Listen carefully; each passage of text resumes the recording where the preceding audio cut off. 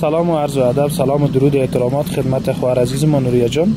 نوریا جان خواهر گرامی ما یکی از فامیلای دیگه را که گفته بودم متاسفانه به خانهشان رفته نتونستم میرم به یک جای دیگه خواستم چون خانه زنام دور بود از مام این فامیل مشکلات اقتصادی هم دارن و بیوه هم هستک و این تفلک های خود بعض وقت مکتب میمونه بعض وقت نمیمونه. به مو اساس خواستم یک ویدیو بگیرم برای روان بکنم. مادر جان خود مشکلات تا بگو.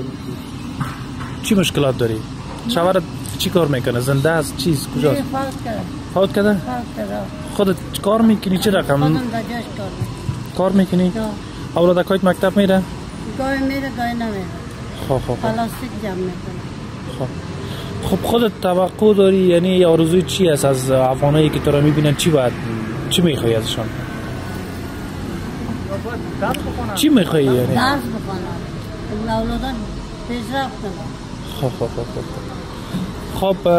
به عنوان یک برادرتون به عنوان یک افغان از تمام شما خواهش مهمی است به این سه تا طفل یتیم یعنی کمک صورت بگیره و اینا را بتانیم ما به مکتب و به تعلیم و تربیت یا ادامه بدیم کوشش کنیم به همکاری شما.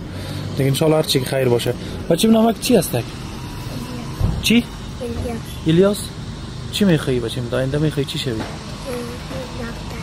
دکتر. نام خدا. نامک چی جان بکن چی؟ فرزانه. مکتب میری چند سال هستی؟ شانزه سنف چند مکتب هستی بشه؟ سنف شش. خب خودت نامک چیز بشه؟ فاطمه. مکتب میری بشه؟